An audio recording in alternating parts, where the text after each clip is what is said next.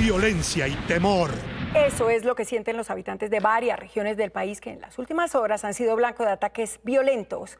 Esta tarde en Saravena, Arauca, un atentado del ELN con dos cilindros bomba dejó dos personas heridas, una de ellas perdió una pierna. Algunos de los explosivos cayeron en una escuela. Sobre las 2 de la tarde fueron detonados dos cilindros tipo rampa, los cuales tendrían como objetivo afectar las instalaciones y miembros del batallón Rebeis Pizarro en el barrio Los Alpes en Saravena, Arauca.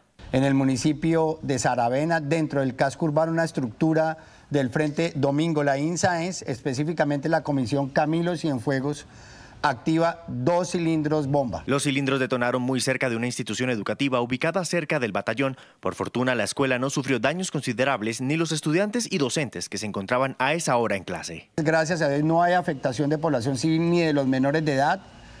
Dos más caen dentro de dos viviendas. Una mujer habitante del sector fue alcanzada por las esquirlas y tuvo que ser trasladada de urgencia a un centro médico. Por la gravedad de las heridas perdió una de sus piernas. Una menor de edad también resultó herida. Es una guerra absurda. Estarnos entre nosotros mismos los colombianos asesinándonos no es la solución.